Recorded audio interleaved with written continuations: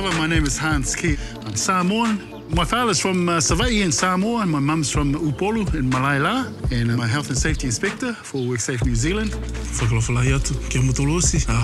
maanga ko uh, atua pata uh, ko hingoa haaku. I'm a health and safety inspector for WorkSafe New Zealand. We like to raise awareness of health and safety, uh, especially for our Pacific people. Historically, Pacific people have migrated here to New Zealand for better jobs, better education, better lifestyle. For majority of Pacific people, family is at the centre. We will go to work, do what we need to do to ensure they are provided for.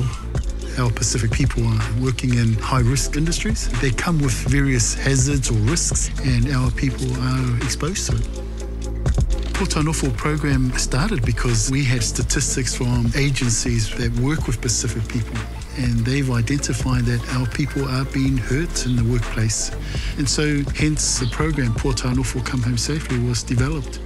Everyone wants to go home to their families and we want that for you. We want you to come home safely. Come home safely.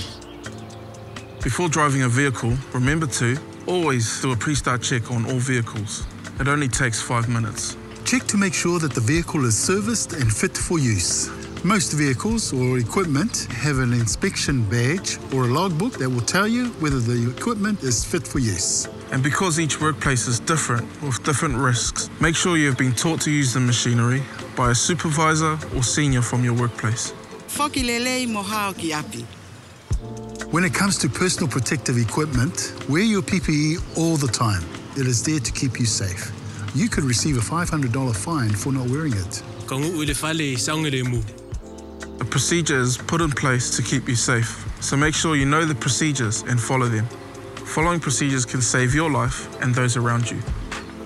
Pau ki kaina whakamitaki. To make sure you're doing work that's safe, remember the process for identifying risk. Identify the risk, assess the likelihood of the risk occurring, assess the level of harm, stop the work, implement the appropriate controls, and notify the appropriate persons. And always ask questions, share information, and work as a team. Your safety is your priority because it affects you, your family, and your workmates. So speak up, share ideas about improving health and safety.